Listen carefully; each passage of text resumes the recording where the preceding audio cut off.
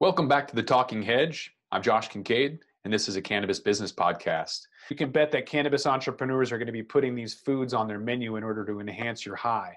Thanks to increased legalization and endless hours of research dedicated to cannabis, we know more about weed than ever before. From medical benefits to terpene profiles to everything in between, modern day cannabis is nothing like it was a decade ago. So today we know that different strains elicit different effects. You can tweak your high to match your mood. There's a strain for that. So now you can eat your weed instead of smoke it, and we know exactly how many milligrams of THC that you're ingesting in every serving. We've got that. You want vegan or gluten free? We got that. But did you know that there are certain foods that you can eat that can actually enhance your high? True story. So the following seven foods will enhance your high. Mangoes, they're top on the list and totally delicious. The effect of mangoes have on cannabis all come down to the high myrcene content naturally present within them. Just like cannabis, some foods are naturally abundant in certain terpenes. Myrcene just so happens to be particularly fond of THC, the psychoactive component in cannabis that gets you high, binding to the THC receptors in the brain. Eating a mango about 30 minutes prior to getting high will make it come on faster and last longer. Mangoes are also healthy. They're known to prevent cancer, alkalize, the entire body, lower cholesterol, clear skin, and boost the immune system. Sweet potatoes are known to be one of the top mood boosting foods that exist. It's because they're tasty and high in vitamins E and B, which help produce serotonin in the brain. While some strains of cannabis can make you more melancholy, these are those strains that are known to boost mood and bring on a satisfying sense of euphoria. Jack Herer is one of them, and you'd pair that perfectly with some roasted sweet potatoes topped with goat cheese or feta. If you're smoking cannabis to treat depression, sweet potatoes can help increase the mood of cannabis offers.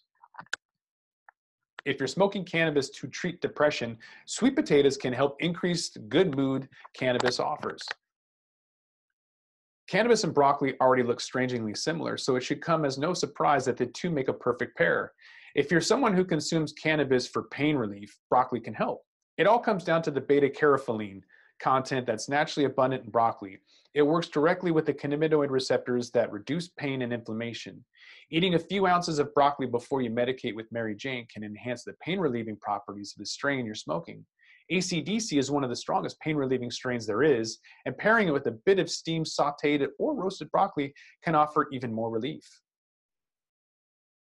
Green tea is one of the healthiest foods in the world, high in antioxidants that can help protect from free radical damage and keep you healthy.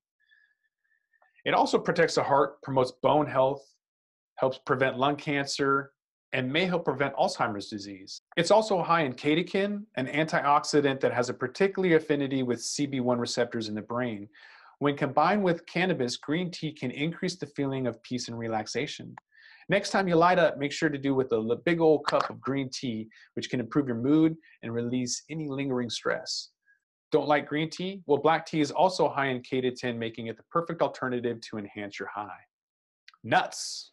If you're someone who prefers edibles over smoking cannabis, consuming nuts and high omega 3s can speed up the effect you feel. Edibles typically take a while to kick in, but healthy omega 3s make the process faster by binding the cannabidiol receptors in the brain. In turn, this helps the cannabis present in your body to pass through the blood brain barrier, not only does this decrease the time it takes to feel the effects, but you can also make your high last longer. Herbs. The terpene profile of certain herbs can help enhance your high. The terpene pinene is a naturally present herb like sage and thyme and is known to open up passages in the lungs. This increases cannabinoid absorption that allows cannabis to pass through the blood brain barrier more quickly. This will make your high come on faster and increase the time it lasts. Whether you're consuming cannabis for this purpose or consumed a strain that increased your anxiety and paranoia, foods high in the terpene limonene can help reduce your anxiety, stress, or depression you might be feeling. Lemongrass, lemon basil, and lemon thyme are all high in limonene. Speaking of getting too high, black peppers can also bring you back down. So if you can't stomach chewing on peppercorn or two, just a few whiffs of black pepper will almost instantly counteract any cannabis inducing anxiety. Chocolate has been known to improve the mood and elicit feelings of euphoria. Chocolate has been known to improve mood and elicit feelings of euphoria.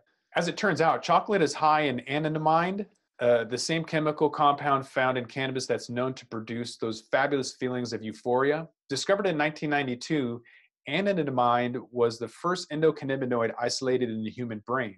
The researchers who discovered it named it anandamide after the Sanskrit word ananda, which means bliss, but can't be pronounced apparently. Consuming chocolate and cannabis together can help activate receptors in the brain that make you feel euphoric. If you're into edibles, this can make those brownies even more special.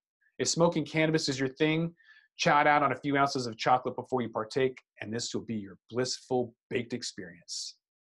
And with that, we're going to roll this one up. I'm Josh Kincaid. This is the Talking Hedge, and I'm out.